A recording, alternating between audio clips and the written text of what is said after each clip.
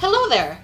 If you're watching this video, this episode was recorded live during the week of April 22nd, 2018. Enjoy!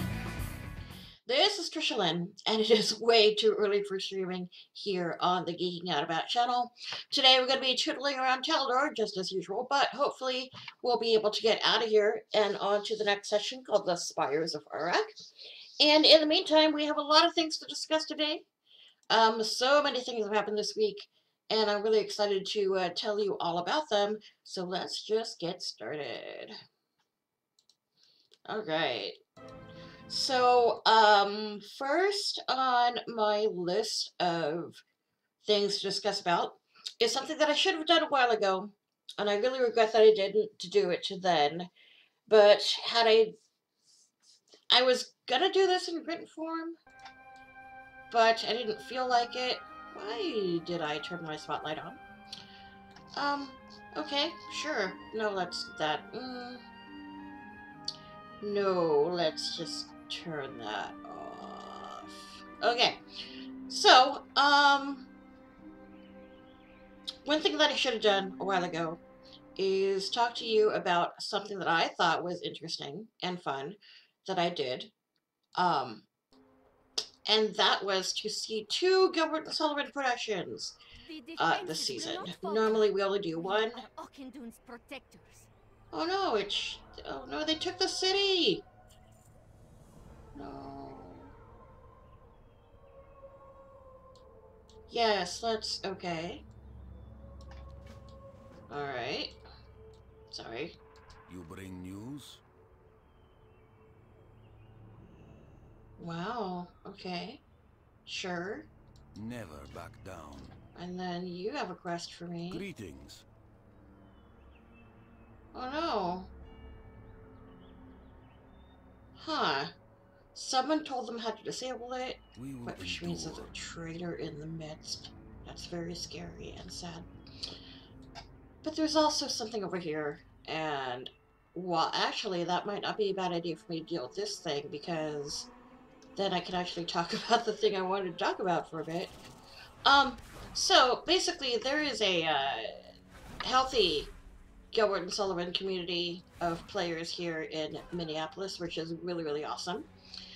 Um, I first started watching Gilbert and Sullivan operettas when I was in New York City with the Gilbert and Sullivan players, and they are a very respected bunch of um, uh, uh, very respected bunch of actors and uh, designers, actors, designers, you know, people who know their stagecraft, who uh, perform Gilbert and Sullivan all year round, but actually, considering how it normally is, they just do one.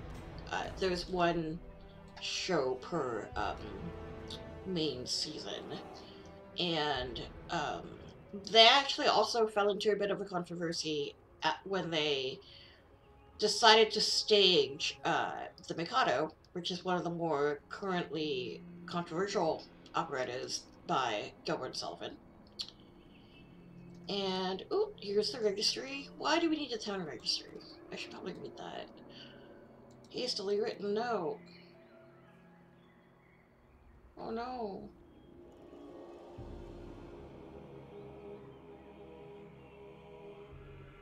No. That's, oh, that's so sad. Hi. Depraved Hunter. I don't have a target. Arcanine torch. Do I have the torch? I got a power cell. I don't have a torch. Oh, here's a tear stand letter. Hmm. Oh. Oh.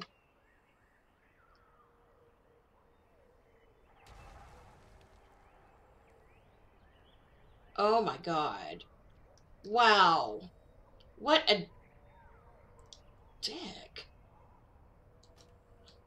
If that's the reason, well, but at the same time, if that's the reason why she decided to uh, um, betray the people, then that is also not cool. But it is a reasonable reason why one would want to betray uh, their country. And their, but maybe not kill everybody else. Like she would have, she should have had, she should have known that this is what would happen. So, like, it's a reasonable reason for one to betray. It, it's something that's understandable, but not wise, which is, I guess, maybe another reason why. Oh. Another reason why, uh, this person was not a good apprentice? Maybe. Don't know how I feel about that yet. Hopefully we'll get to learn more about uh, her story. And find out more about why she did what she did. Which I'm very interested in finding out. So, Torch. Torch. Torch. Yay! Now I can burn piles of bodies.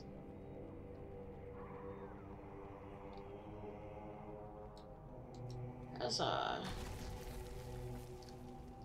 And now I can burn that other one.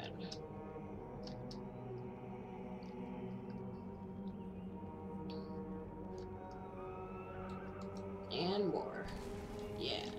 So with the uh, Gilbert and Sullivan players in New York City, I was expect I, I had grown to expect a certain amount of um, sophistication in their productions, and when we moved to Minneapolis, I wasn't sure if I would find the same. And of course, you know, my husband my husband is actually more of the Gilbert and Sullivan fan than I am. Um, being an attorney and all. Um, which I'll explain later, the whole attorney bit. Um, and uh, no, I, I don't need to explain that. I don't need to explain why his attorney, but I will need to explain why attorneys and Gilbert Sullivan is a thing. So, um, Infinite Power Legion, I think not. No. You're not getting my soul. It's staying inside my body right where it's supposed to be. Thank you.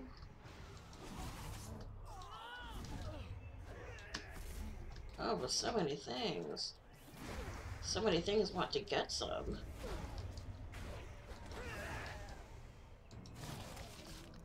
Yeah, you too. You too, buddy.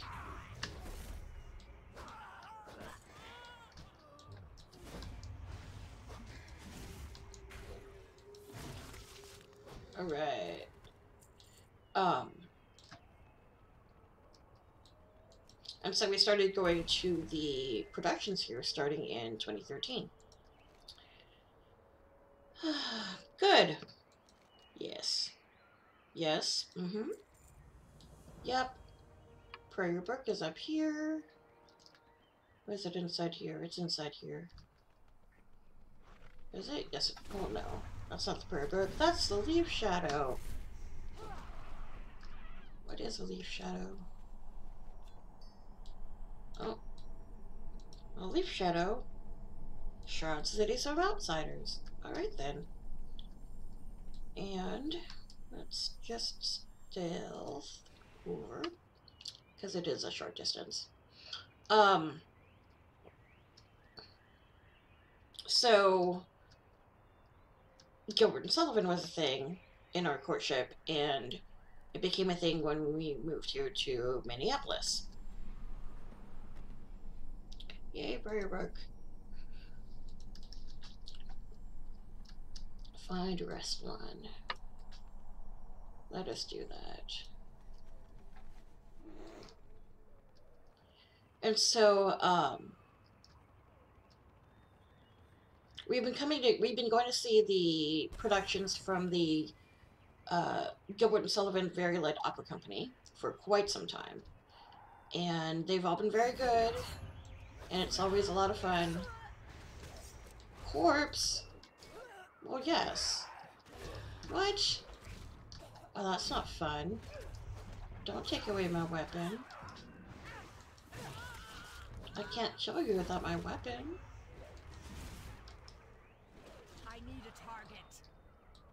So,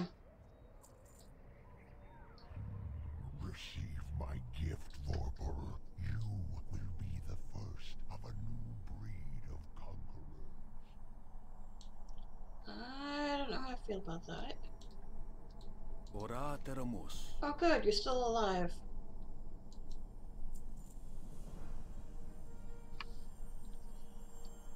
Sure. I can do that. too shall pass. Hello. Nice to meet you.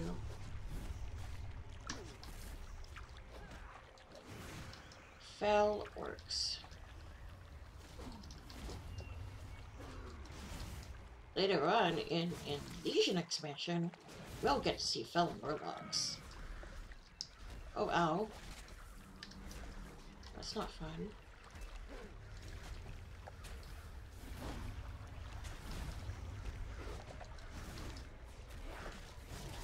Yeah. No. Why would you need the bodies?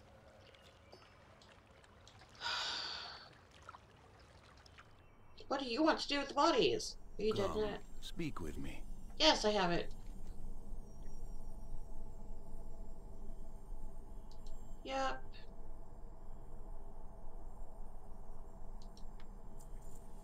Yep. Okay. Mano Cool. ekta, my friend. Okay. Sure. So you're well enough to retreat. Okay, got it. That's understandable. I would want to retreat as well.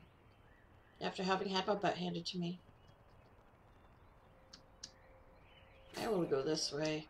It is it seems like it is a more direct route. Um, so Gilbert and Sullivan Very Loud Opera Company, very good at what they do.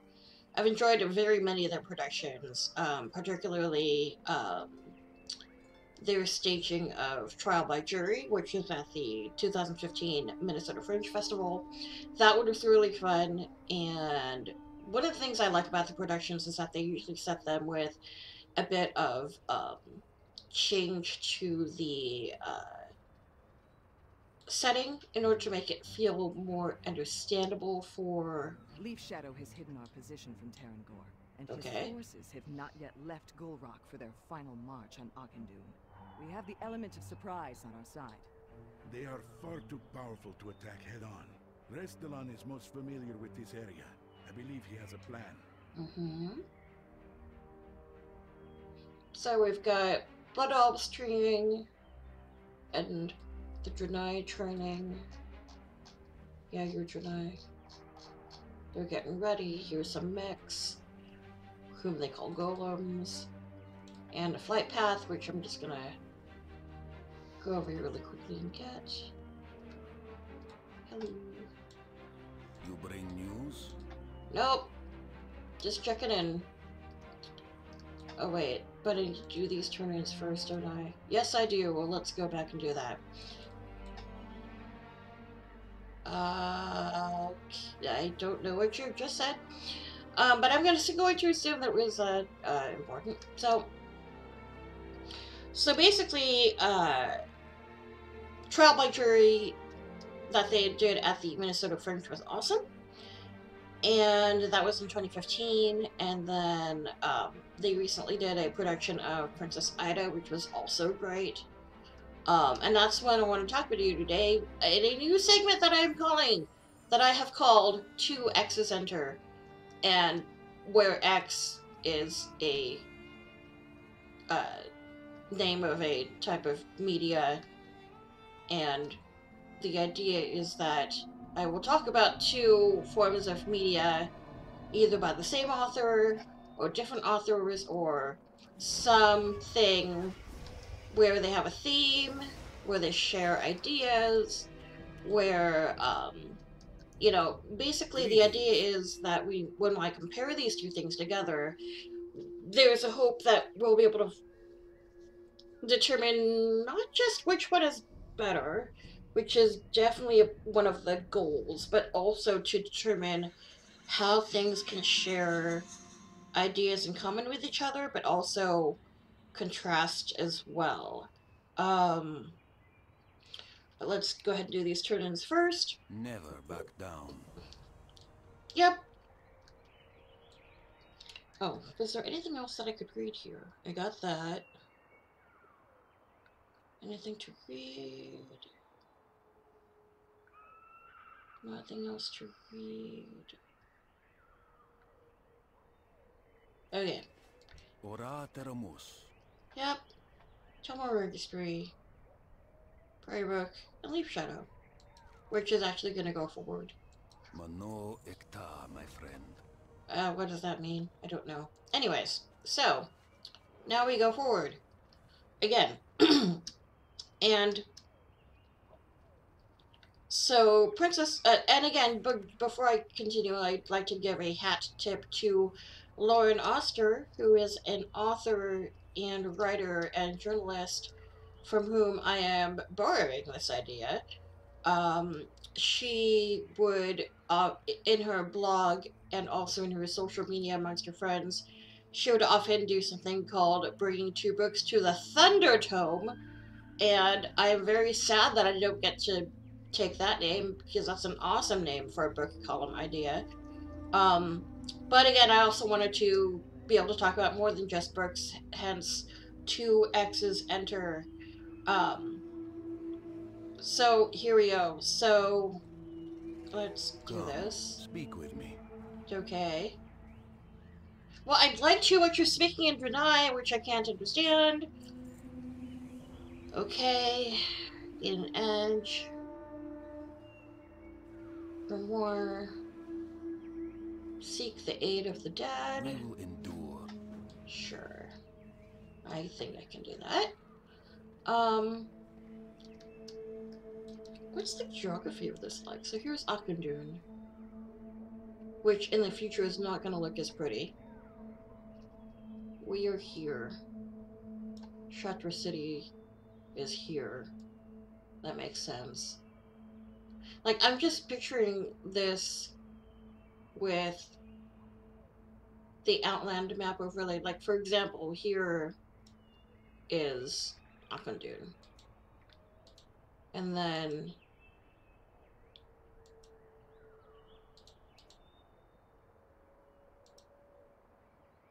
here is also Auchindoun which is very sad. Um, we keep every time I go questing in here, I keep looking for these kinds of similarities and differences. Like, for example, the next area in Draenor, there's like this is Talador. This is Shadowmoon Valley, which is what I learned. I learned that this is the Alliance starting area. And then down, down here are the Spires of Arak. But they aren't here. Which makes sense because that's why and how the Arakkoa came up into this area. Because their part was sheared off and... oh, I'm learning so much about this game. Anyways, uh, so, oh, I'm in the ruins now. Ooh, wait, can I? Can I? Can I? No, it's undead. I wanted an undead pony! I wanted an undead doggy. It's not fair. I already have a fire doggy somewhere. I think I have a fire dog somewhere. If not on this character, then somewhere else, but yes. I wanted an undead fire doggy.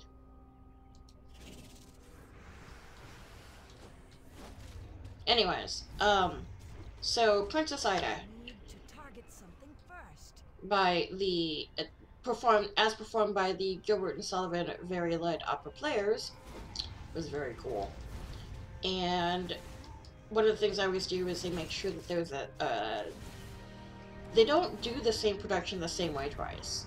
Which, given the limited repertoire of Gilbert and Sullivan and the number of plays, I mean, there are a lot of plays that they that Gilbert and Sullivan wrote together, but at the same time, there is not a lot of uh, variety in what the um, there's not too much variety in what the plays are and what they do. And so therefore every time they put on a new production they do something a little bit different to it which i think is great. And for this production of princess ida what they did is they decided to make the setting um, steampunk in nature. And um, which was really funny when because my mother-in-law had to be had had to have steampunk explained to her um, and she she wasn't entirely clear about the concept but after telling her you know what it's all about she understood why there were so many freaking gears all over the place and why it was Victorian in outlook and yet things felt very uh, uh, science fictiony. Like the weapons all looked like fantastic ray guns, even though the dress looked Victorian. Like I'm reminded of that uh, questionable content uh, strip where uh, Marigold's father comes over to ask her to explain steampunk, and he's really mad about it. Um, he's mad. He's either mad that it's a thing, or mad that he doesn't understand the thing. Which I think is something that happens to all older people who just don't understand a thing that their children enjoy. Um, which is also very sad. Ritual. Hi. Now I'm talking to spirits. Okay.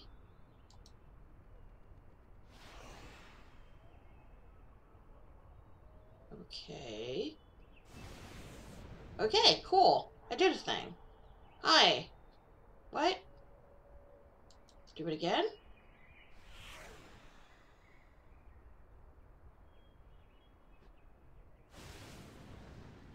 Like, just not powerful enough? I am free! Was I supposed to do that? I am in your debt, little one. Mm-hmm. You have saved my people from an eternity of suffering. Yay! We will help you defeat your enemies. We will repay our debt. I wish I could have heard the rest of what you're gonna say.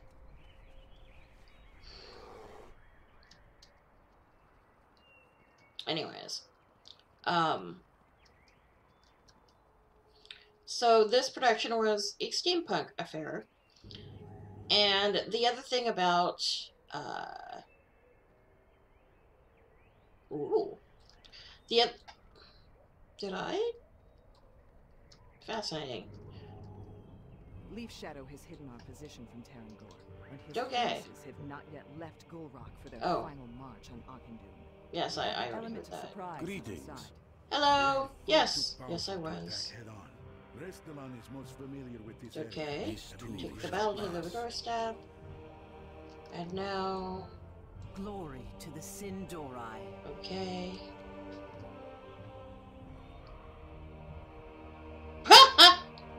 oh, wow. Killing. Uh, too funny. Okay. Cool. Kill demons. Farewell. I would forfeit And my own soul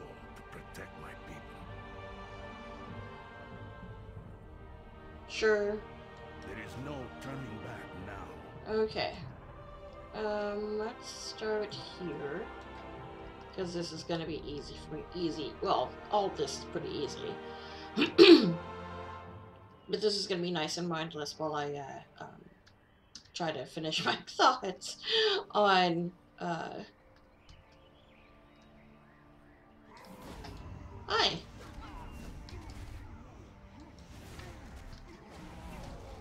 Yes, fight your compatriots. I need a target.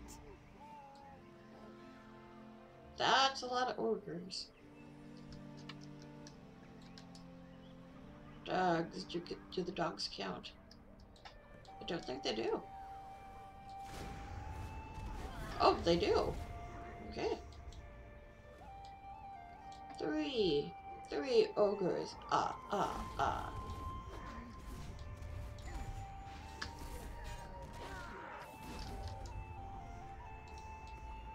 Come get some.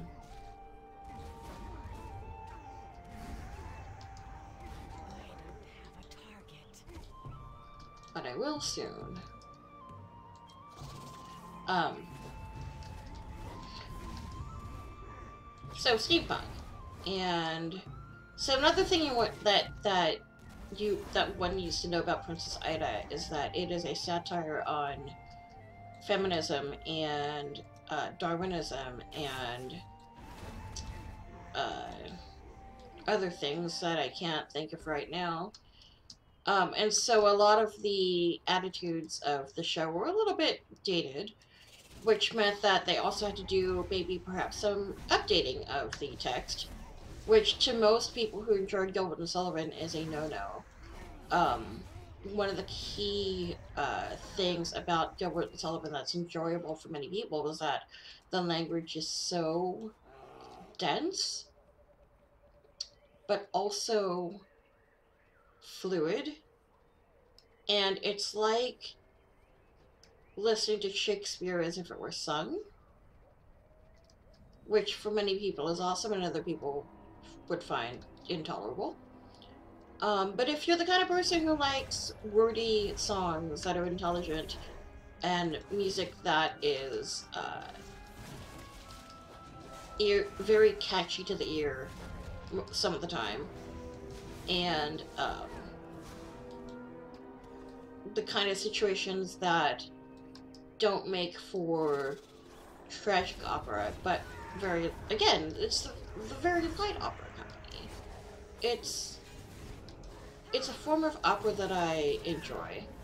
Like, not that I have not enjoyed other operas, I because I have. Um, but Gilbert and Sullivan is, I think, more accessible to someone who's just learning to appreciate the format and the form for the first time. But of course, being Gilbert and Sullivan, Oh, hello. Of course, being Gilbert and Sullivan, you need to update things from time. And so this version of Princess Ida deals particularly with a plot that is a little hard to understand. Okay. Okay.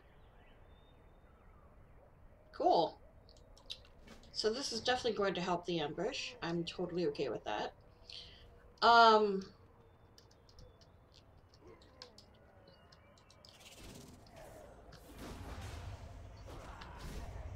And, uh...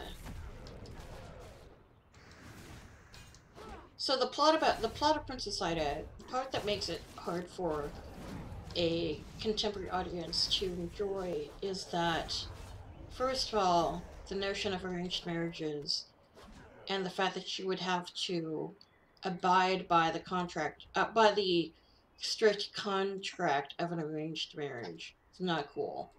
Making fun of women who want to learn. Also very not cool. Um...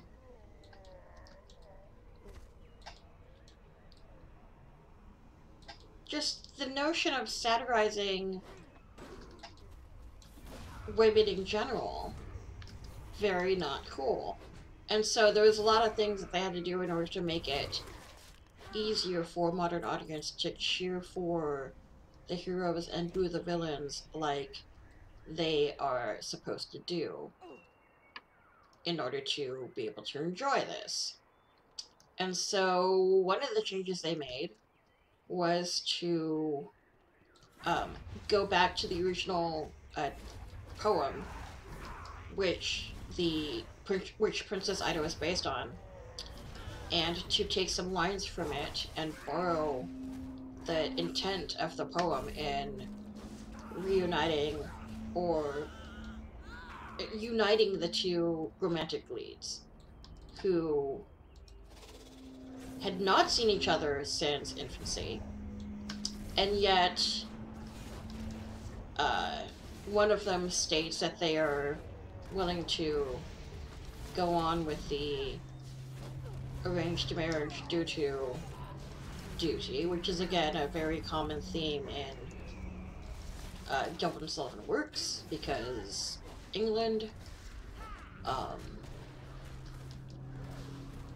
and so, like, this was very much a thing for people to be always con constantly cognizant of their duty. Um, as citizens of the realm, as uh, English men and women, mostly men. Um, so, in order for this production to have a happy ever after, it means that a woman needs a woman is a woman is going to be wed to someone against her will. Someone whom she's never met as an adult or even as a teenager. In fact, the two leads had not even seen each other since they were two. And yet one of them says that they are in love with her.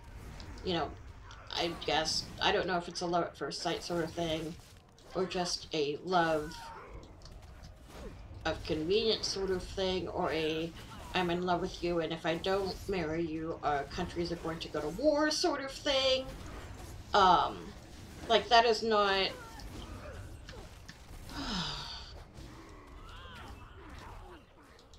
Which, by the way, is a very, very common thing in English history. Um, I guess I understand why it's it was important for Gilbert and Sullivan to talk to remark upon it in their works because so many monarchs in British history have been forced to marry people that they didn't want to marry, or just marry for the good of the realm, as opposed for as opposed to for love or convenience or affection or um, you know, affection even. Anyways, so that's something that Gilbert and Sullivan do a lot in their productions. Satirize things that are commonly in the mind's eye of the people that they are playing towards and uh, in order to make money because isn't that what all art should be about making art that is successful enough to, for you to continue to make art. Um, so there had to be some changes. And the biggest change, in my opinion, is the change to having... So part of the plot of Princess Ida is that Prince Hilarion goes in disguise to Princess Ida's Women's College, which she had founded, and apparently when this was in production at the Savoy, the idea of there being women's institutions of higher learning was new. The fact that women wanted to go and learn and be academics was new, and the populace was unsure about it. Um, so there was, you know, it was a satire on that. Oh, poop. Silly, silly demons. You should know better than to get in the middle of a woman and her pontificating about Gilbert and Sullivan.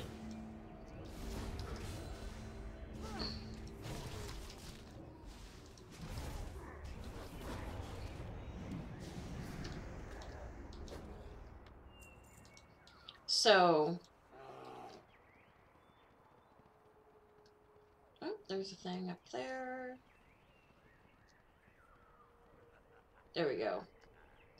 What? No! Who's that? It is someone I have to rescue. Don't worry, brave elf. I'm here to rescue you.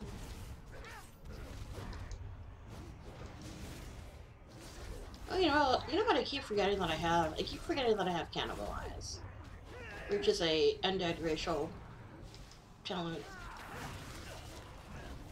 Yep, I am going to free you from your torment of...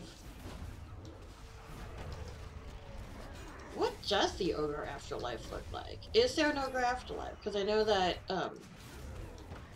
Well, the trolls believe something different.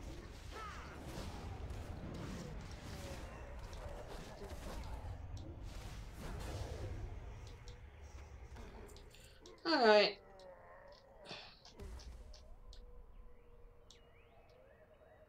You look comfortable. Are you actually in distress?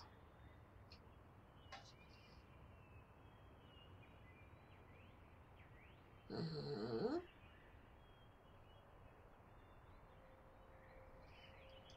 You don't look like you're in pain, though. If you were more bloodied, I'd understand that you wouldn't that you wouldn't be able to get down and help me. Uh, Salama Shalanor to you too. Alright, uh, books. Where am I getting these books from? Up here?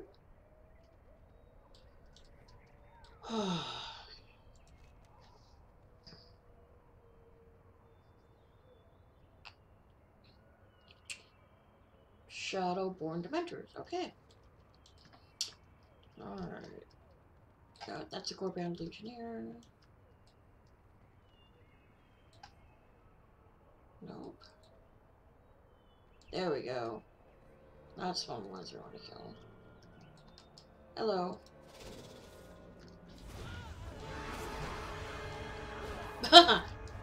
nice stinger.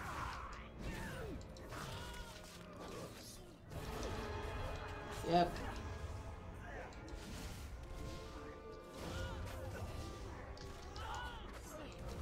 And do that again? Musical stain? No?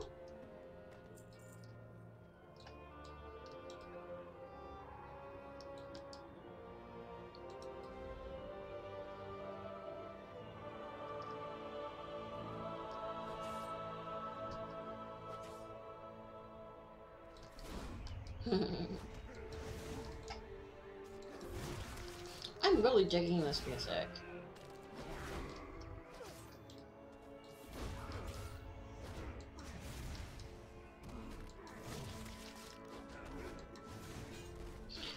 Sure it needed to be in I'm not sure it needed to announce itself in such a way.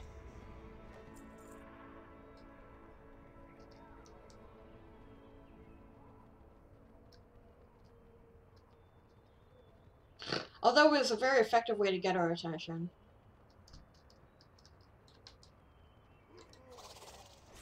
Hello.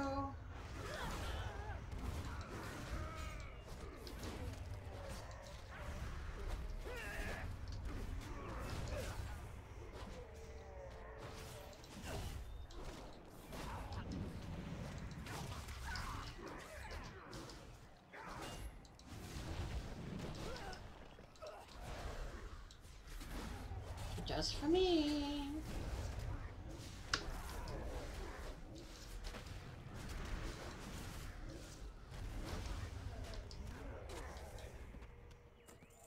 Alright, now I get to burn books.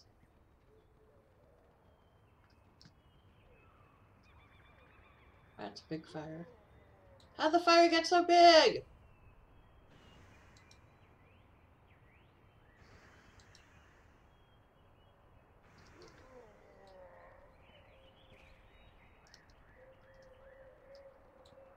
Anu Belore de la Well, I guess he is near death. find some damages, the then I could heal you. I could heal you.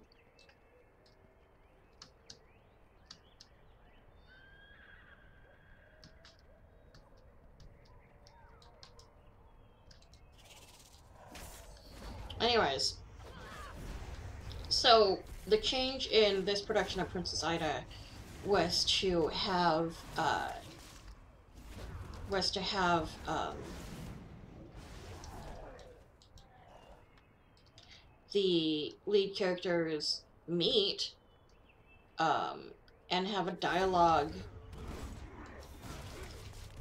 that reveals how much how how there could be an understanding between them. And the other thing that I think is really interesting about this new production is that so in order to be able to get closer to Princess Ida at the women's only college that she founded, Prince Hilarion and his two friends decide to disguise themselves as uh, women who want to attend the college.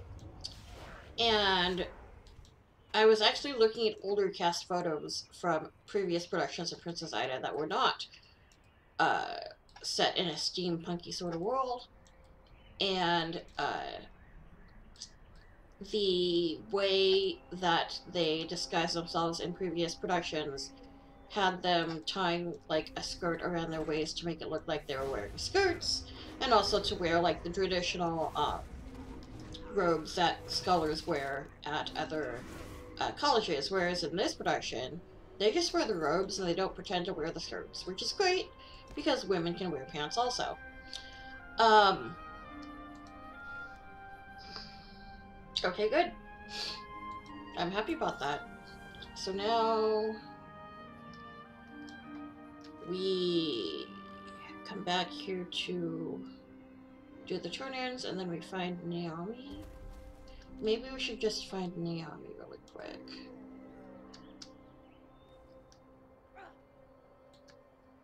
Let's do that.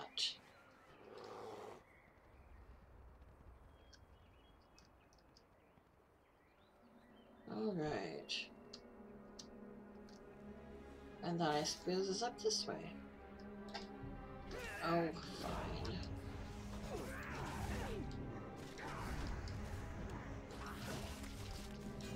I'm tired of you setting me on fire.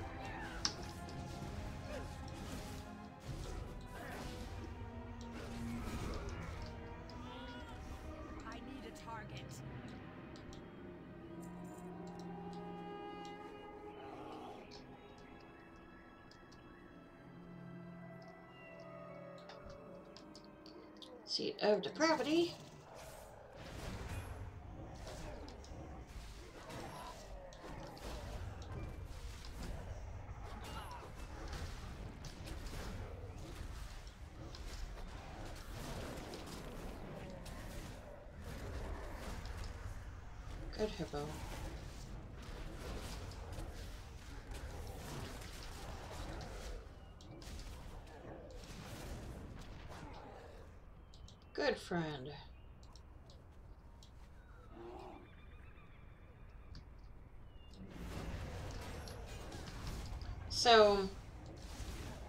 There's that. And then at the very end, um, where there's the whole, oh, you, I'm falling in love with you, though I've really met you thing, um,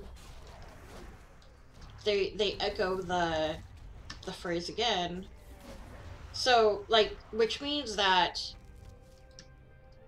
in this time where, I'll keep the portal open as long as I can. Okay, what is that for? Hi, Have you any news? okay.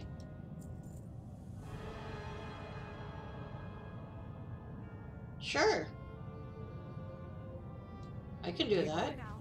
while I can still hold it. I just hope I can get back.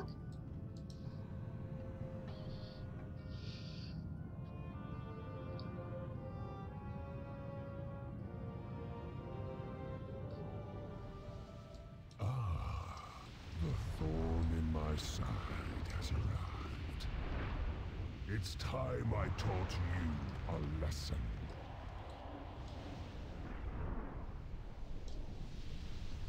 Let the ritual begin. Hmm.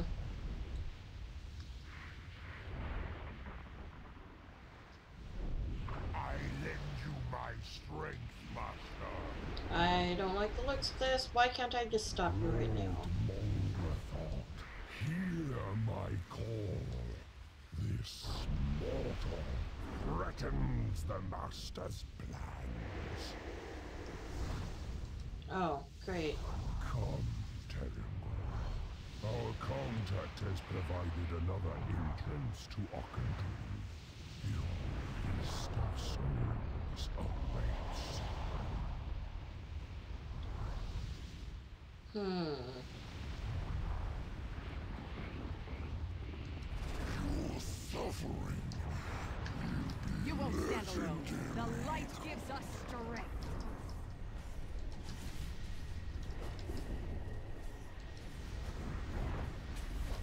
Rise, my minions. Rend their flesh now.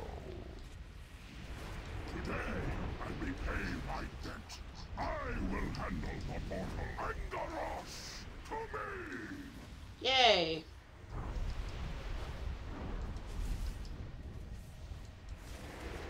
Oh, we got this in the bag.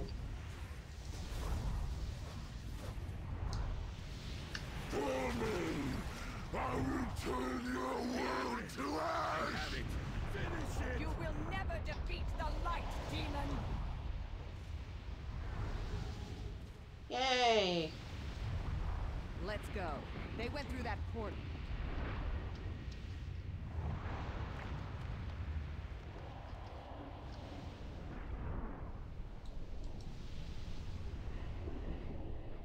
Hmm.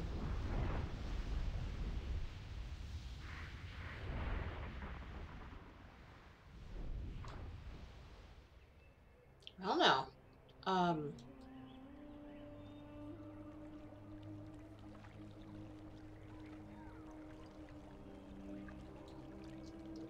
This doesn't look good. A good. new Belore Delanar.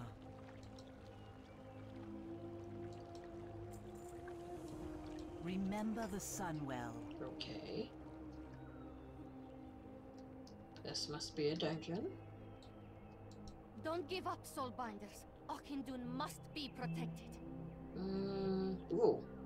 Yes, please.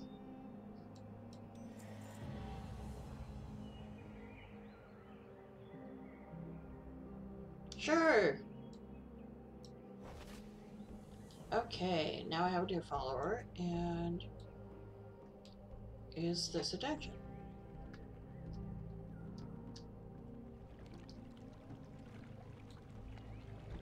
Yes. Okay. Go to Hold your head high. But is this really a success? Because look, A, look at all these people dead. B, wait, did we get uh, did we get Auchindoun back? Suppose we did. Mm.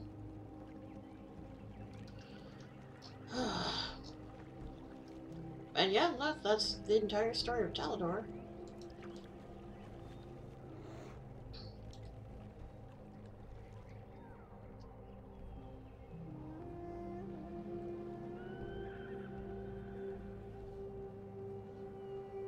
I'm so confused.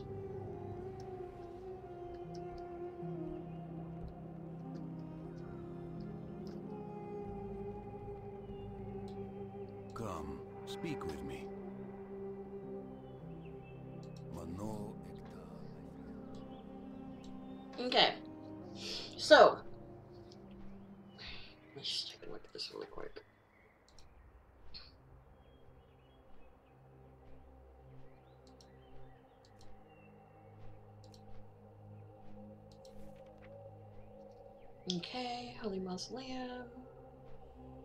Blah blah blah. I want to get inside. It is a quest. Let's transmog I can get. Wait, how is she a villain now?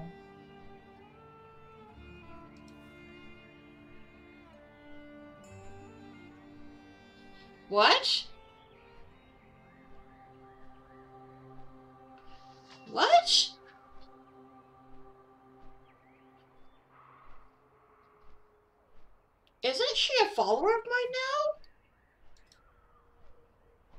No, Saltwater Trelawney's a follower. Okay, what?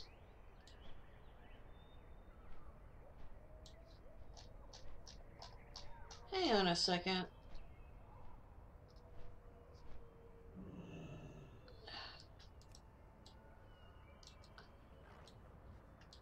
I'm so confused.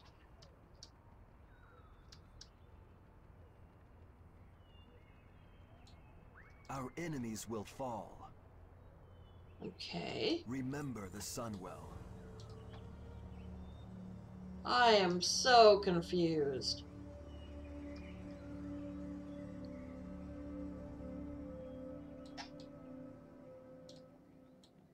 Hi.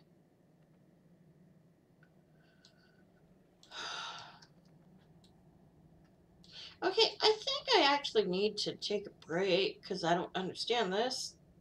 Um,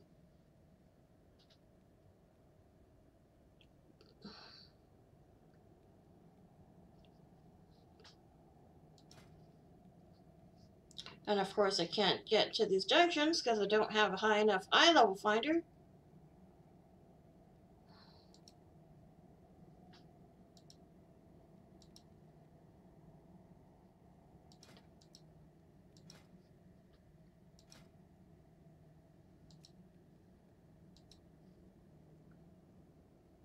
Um,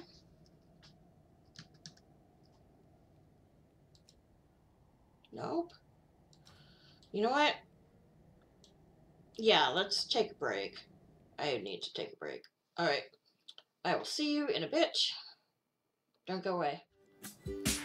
This is Trisha Lynn, and I'm talking to you from the past. Normally, this is where I would run a promo for an upcoming project of mine, or announce the next time I'll be doing a live recording. However, since this is my first episode, I don't have anything like that planned. Instead, here is where I'll invite you to send me feedback about this video. Do I need to speak more slowly? Did you enjoy what I had to say? Do you have any comments of your own? Leave a comment below, and one lucky person will win a $5 gift certificate to the fast food restaurant of your choice. Offer is valid until May 31st, 2018. All normal contest rules for the state of Minnesota apply. Hey, I'm back. Um, and something funny happened while I was on break. Um, not gonna go into it too much, but you might notice that I'm wearing a different shirt. Um, that's because we lost some uh, recording, and so we're just gonna do it all again. Um, so yeah, I guess that's what happens when you're a first time streamer or recorder or when you're starting out with a with a program. So, you know, we'll just carry on as we are meant to go on. So, since uh, I went very far ahead in the uh, area, I think what I'm going to do instead of just um, continuing to work on uh, the things that I was working on, I'm going to go ahead and just um,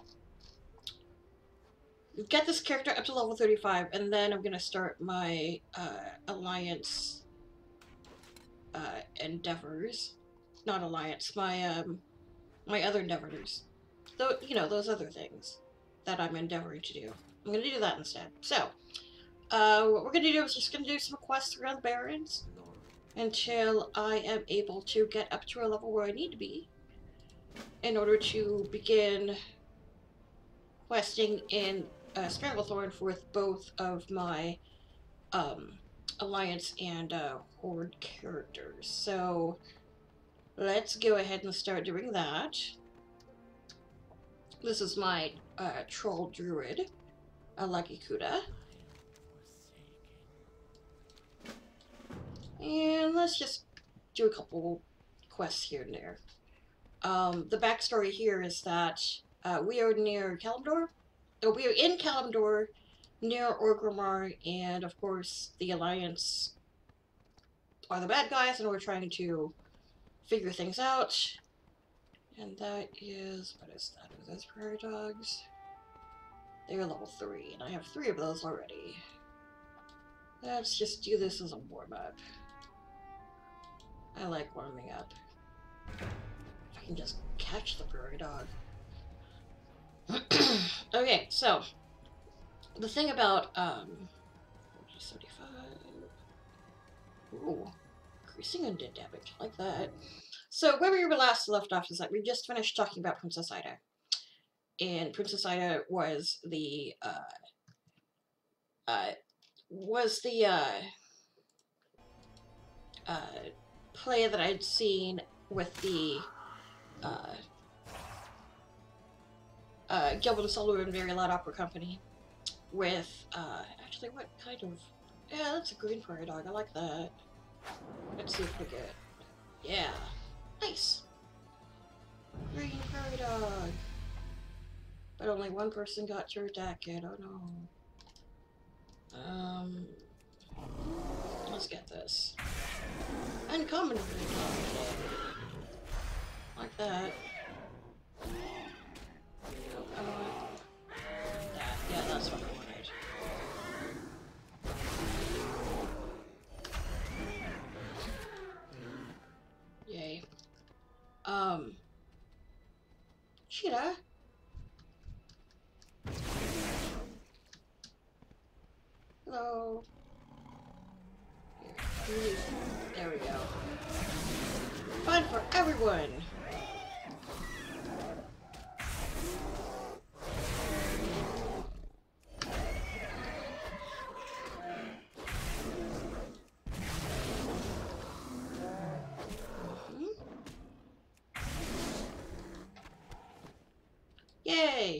Um.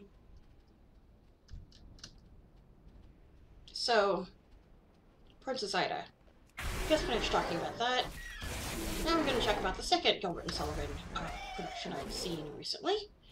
And that would be The Pirates of Penzance at Park Square Theater in St. Paul, Minnesota. So Park Square is actually a theater company that I'd never uh, been to see uh, productions at before. Uh, my husband and I normally go to Broadway shows, or the touring Broadway shows that come by, and uh, lots of them have been at the Orpheum. It's where I saw Fun Home for the first time. It's where I saw, um, let's see, was it Fun Home, and uh, The Book of Mormon, and Wicked. Basically, every touring company that's ever come through Minneapolis. I've probably seen most of them. Not all of them though, because my husband does like Broadway, but to a certain point, he's not going to see every production, and sometimes he will uh, he will go ahead and um, he'll go ahead and uh, decide to see something that I've that I've recommended, such as when I went when we got the tickets to see Fun Home. Um, side note, if you're ever in a theater any theater of any kind, and you have a bad listening experience, or you have a bad theater experience, it will behoove you to.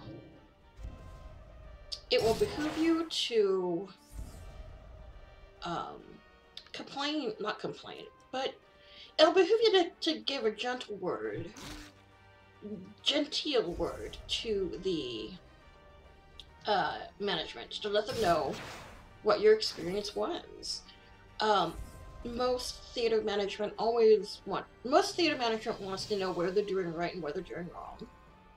And when we went to see, I want to say it was Book of Mormon. When we went to see the Book of Mormon, we did not have a good listening experience. We were in the upper seats, which was what we could afford. But even people who are in the upper seats deserve to have a good quality theater experience where we were at, like we were in the very upper balcony, and the sound mix was really loud, and like I'll say I've said this before and I'll say it again. I sometimes have a problem with hearing lyrics when they're sung, either on the radio or on an album. And if it's on an album, then you've really got problems because that's what you know, the, a, a, a studio recording is supposed to prevent that kind of problem, you know? And so, um, you know, we didn't have a great time. I, it was hard to hear the lyrics.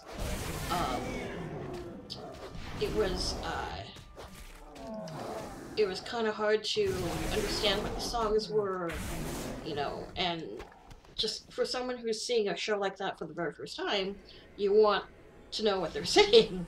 You want to know what they're singing. You want to know what the plot is. And I couldn't do that with that production. And so, you know, on the recommendation of someone I, I knew who um, works with the theater companies, uh, she said, give, you know, write the theater manager and let them know. And I did. And as a result, they apologized for um, my inconvenience. And, um, you know, they wanted to let us know that that wasn't how they typically want their theater goers to experience their productions. And so, in compensation for not having a good time, they gave us free tickets to the affirmation of our choice. And what we decided to see was Fun Home, and it was amazing. It was a great production. Like, I'd given my husband a choice of all the productions we could have seen. And out of all of them, he's all, I guess this is okay. And I'd heard so many good things about it. And so, most of it through Lin-Manuel Miranda and his constant championing of the the children in the original Broadway um, Fun Home cast. And um, so we saw it. Turner production was fantastic. We had a great time. I actually ended up buying the book uh, that uh, I ended up buying the book that inspired Fun Home. And it was, again, one of the best theater experiences I had in my life. So when I suggested, when I saw the notice about the Pirates of Penzance and their, uh, the Park Square Theater production of the Pirates of Penzance, and how it was more in keeping with, oh, hey, I kill, how it was a, an adaptation that was a little different from how Pirates is normally produced, and you know it was unusual in the fact that um, the person playing the modern Major General, and we'll go into that character shortly, uh, was would be played by a woman. I thought it was interesting, and uh, showed it to my husband, who then showed it to his mother, who also likes Gilbert and Sullivan. Um, she thought it was interesting, so we said, why not? Let's go see this. And so we went. And the Park Square Theater is a lovely uh, theater um, located in the downtown St. Paul area. Never been to before. Um, seating was fine. Uh, the tickets we got were pretty good. Sound quality was great. Um, everything was great. And the production itself was unusual, and but in a good way. Because what they decided to do, and I forget who did the adaptation, I'll have to get more precise information in my uh, show notes, but what they decided to do with this ad adaptation was to do the production as if it were a play within a play.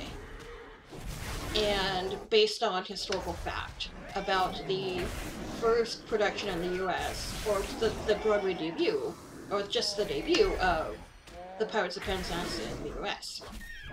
So what happened is that when Gilbert and Sullivan were doing their original productions of, I want to say it was Pinafore, um, they mentioned Pinafore, yeah, when they were doing the original production of Pinafore, they had lost a lot of money on productions in the US, mostly because they didn't stage the productions in the US, and therefore they didn't get ticket revenue from the new productions in US. Like they did not like it, using today's terminology, they were not able to uh, get people to properly buy the license because uh, copyright laws were more lax about things like that back then. And therefore, any production who happened to hear about Pinafore and uh, were able to very quickly uh, figure out what the uh my other threes. Hey, prairie dog. Um, yeah, the keeper. And the adder.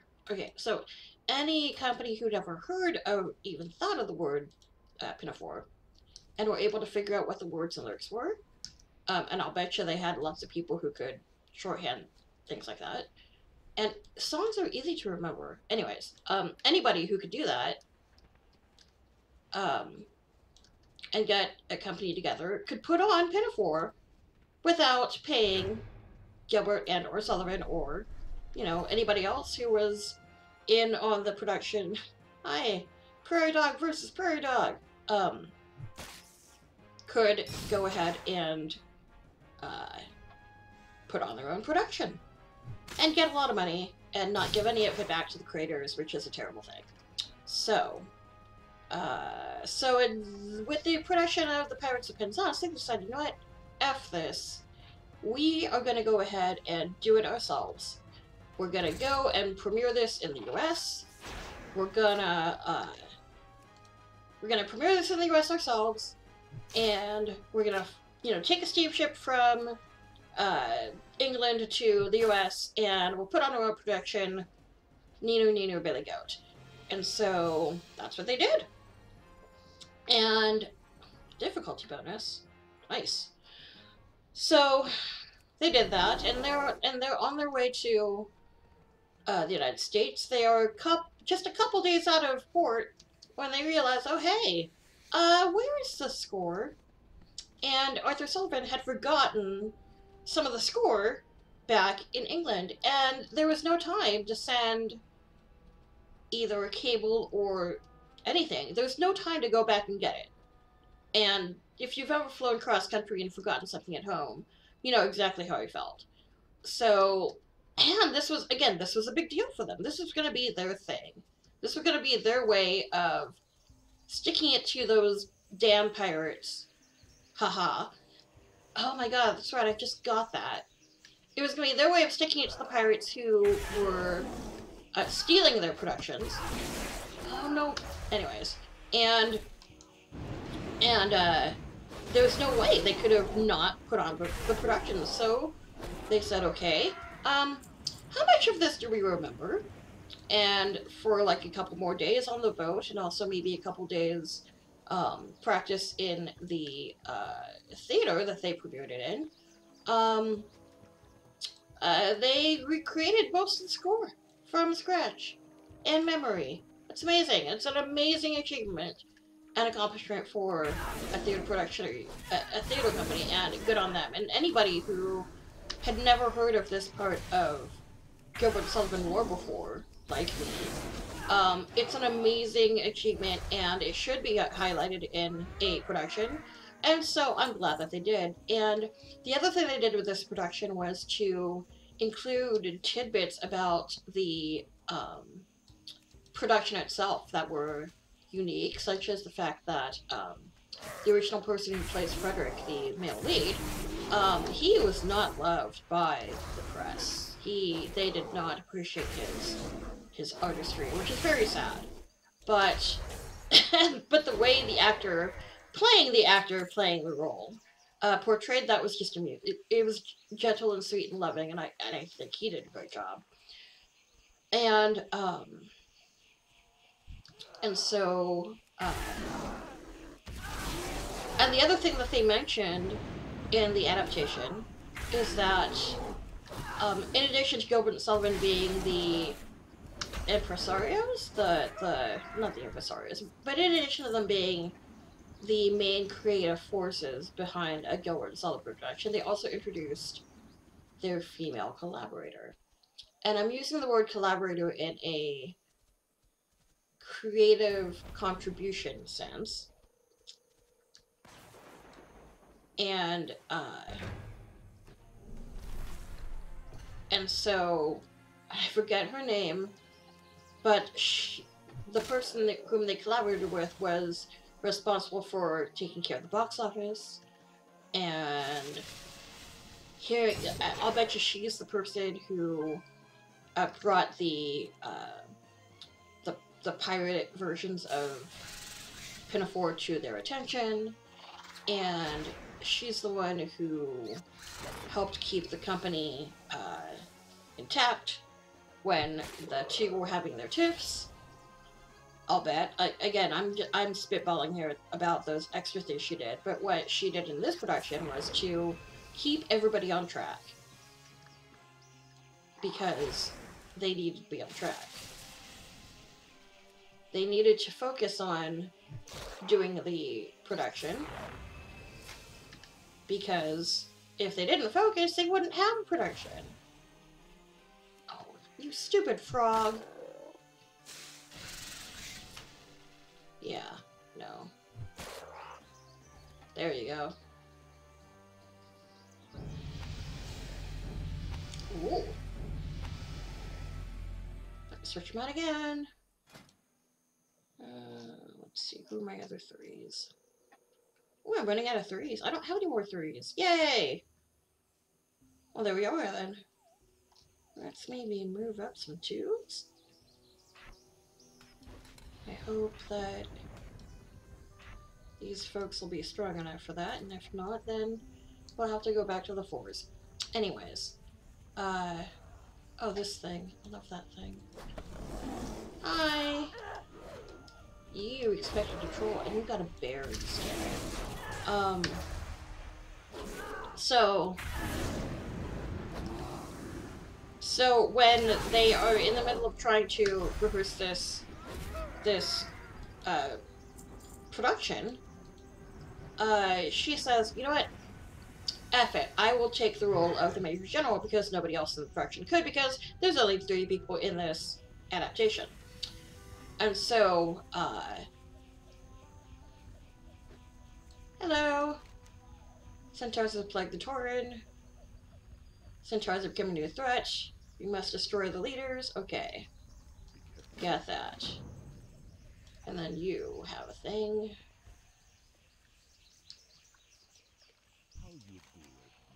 Sent you to scout. Start killing centaurs. Yeah, I can do that. Not a problem. I'm actually uniquely qualified to do that sort of thing. So... So she says, F it. I will rehearse the role of the Major General. Because apparently he could... Oh, you know what? That's level 4. Let's change this. Let's change it up. Let's do one, two, one. And the monk. And maybe one of my favorites. I don't have any fours as favorites. That's gonna have to change. You know what? I do like the Pandaren monk. There, that's better. Another four. Predator? Short crab. Crab. There we go. So that's... Uh, humanoid, critter, critter... No, humanoid, critter, aquatic. Perfect. I love that. I don't have any of you yet! Oh my! Okay. Okay. Alright. Um, damage... Two... No. Stampede. Yes. You will stampede.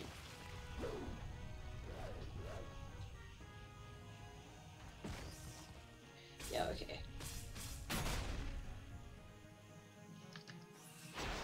Whoa. I think... Yeah, okay. Uh, there we go. That's strong. Um, let's do...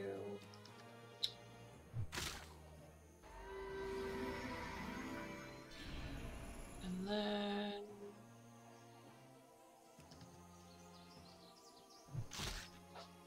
Okay, do maybe one more of those.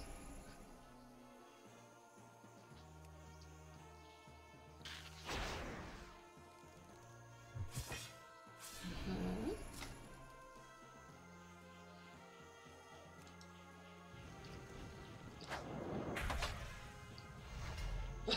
nice.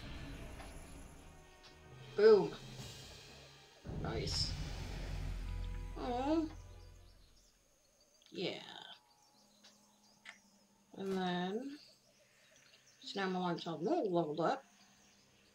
And we're gonna put the mouse in its place. Okay. Back to business. So,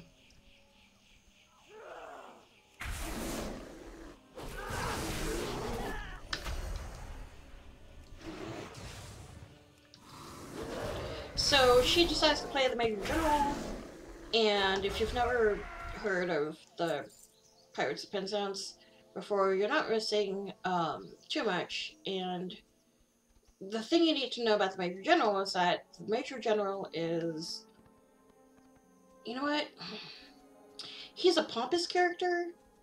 He and the original purpose of the Major General was to parody or have a commentary on those military folks who know know everything everything they know about everything. Like they know everything, except for actually how to be a military uh, person.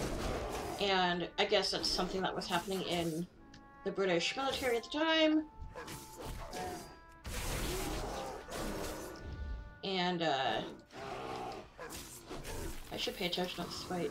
Um, that's something that was happening to the British military at the time. And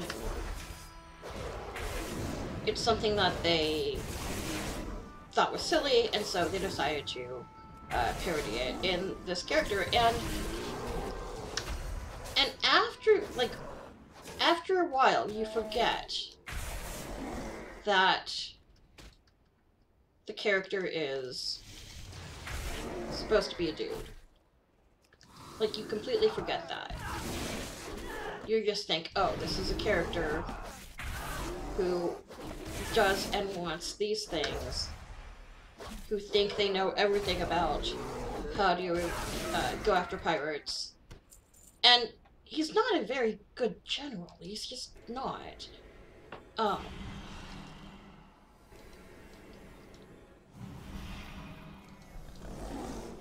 and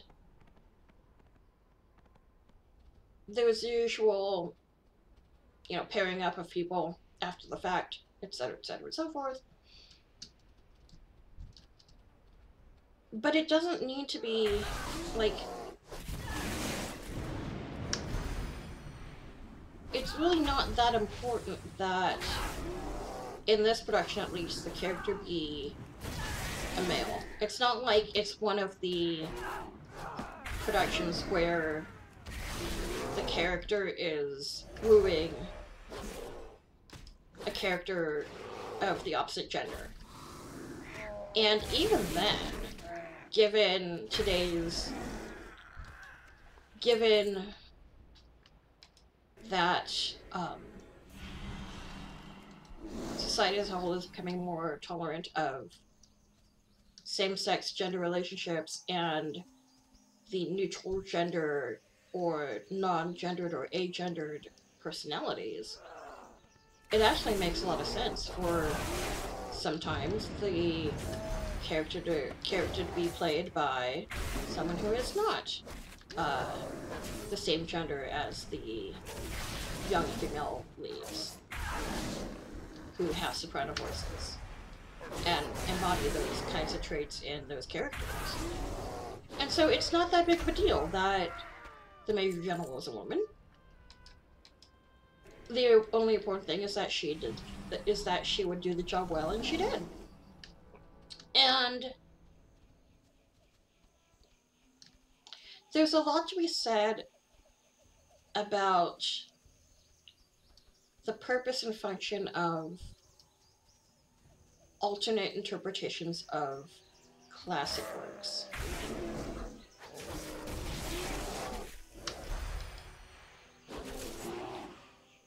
When I talked about Princess Ida last time,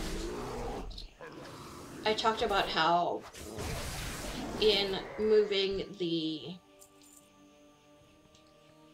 in, in choosing to stage this production now in this in this different area of feminism than as it was in that when when Gilbert and Sullivan just first produced Princess Ida, there are a lot of nuances that I don't think Gilbert and Sullivan intended. For example, um,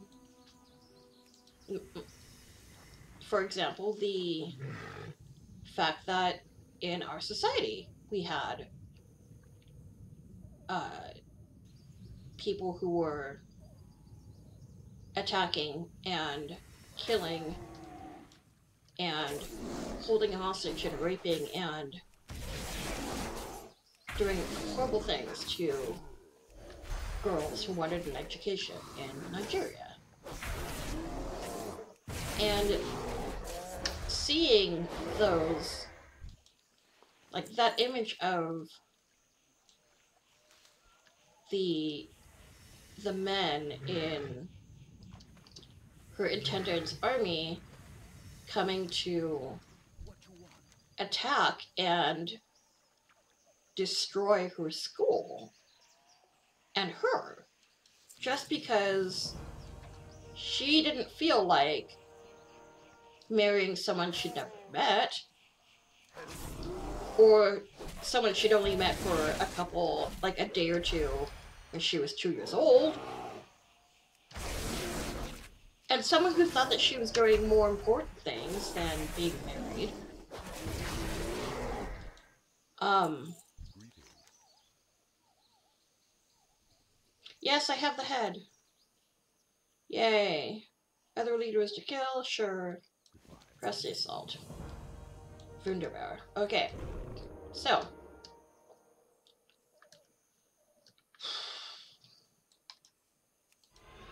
Like, that was striking.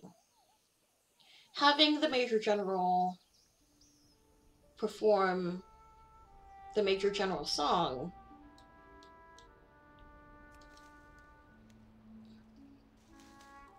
which talked about the inability of the person singing it to be a really truly effective leader. Now that I think about it, I'm not so sure that I grok the interpretation. And for more than just, hey, a woman is singing this part. Mostly because, okay, so in any production of Gilbert and Sullivan, the Patter song, which is the uh, Major General song, there's a part where the Major General is challenged to sing the song even faster and faster and faster, which she did with aplomb. Um, there's also a part where the person singing the role or just the production in general, they get to insert a verse that is a commentary on the times and is not original to the production, but is something that, you know, needs to be updated from time to time. And so they did. And she had written her verse that she'd written was about how either her verse or her line. There's a line in the production about how it was a it was a poke at well more like a poke. It was like punch at Donald Trump for um, groping women or just being disrespectful to women of his acquaintance. And unusual spores. Yay, oases. Okay. And then we're going to turn this in. And then we're going to do... I think that by the time we do the turns, we may be ready to go back to Stranglethorn, which I'm very happy about. Oh, so close. And... So close! You know what, let's uh, do this one. That one's going to be easier to do. And...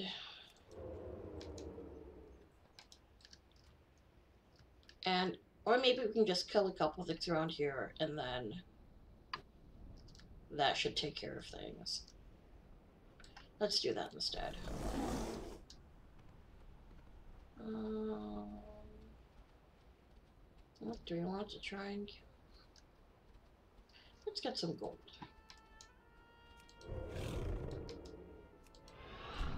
Let's go for after the razor boar. And let's get some gold. There we are.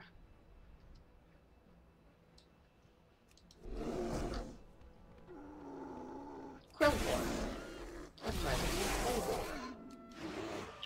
So anyways, and the, the very liberal St. Paul audience really appreciated the, those jabs and those jokes because we I, I live in a quote blue state. I live in a very democratic state. We are the we are the Minnesota is the are, are the people who uh, still believe in Paul Wellstone and his progressive messages. And because of Wellstone's untimely death, um, he wasn't able to fulfill the promises that he embodied.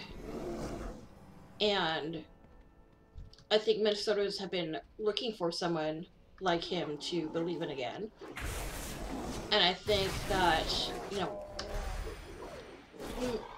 I'm not sure how this happened, but again, Minnesota is just a very liberal state. And so, um, the, the jabs at Trump were very much appreciated by by the by the by not just the audience but also the production and just you know the media appreciated it. They covered it. They covered it um, equanimably. If that's a word.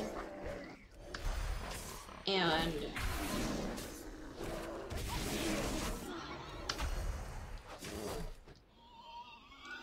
and you get a thing in the face.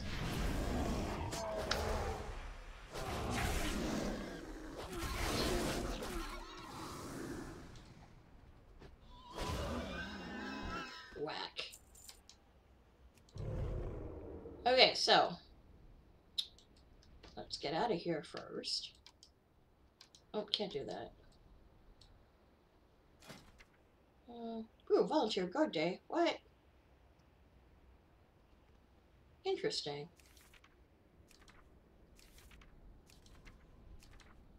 Yep.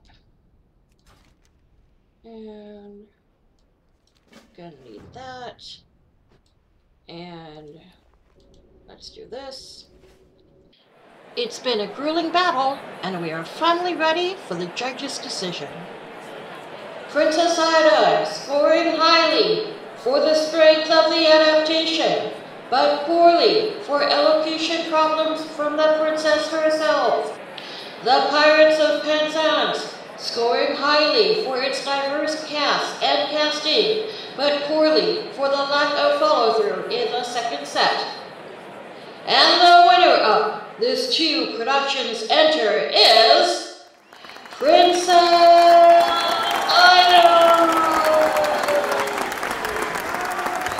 Thank you very much for watching, and we'll see you next time on 2 X's Enter. You've been watching a video episode of Geekly Speaking About, a project on the Geeking Out About Twitch channel at www.twitch.tv slash geekingoutabout. The game I was playing was the World of Warcraft Warlords of Draenor expansion on the Proudmoore North American server. The music in this episode was Adaptation Jam by Aussens@iter, Dub the Uke by Kara Square, and Now Wouldn't You Like to Rule the Roost by Gilbert and Sullivan. The first two tracks were licensed under a Creative Commons Attribution and or non-commercial license and are hosted at ccmixter.org. The last song was recorded by the D'Oyly Carte Opera Company in 1965. Sound effects were created by eguobyte and FoolBoy Media, hosted at freesounds.org, and licensed under a Creative Commons Attribution and or non-commercial license. The software I used to create this episode was Audacity by Audacity Team and VideoPad Professional by NCH Software.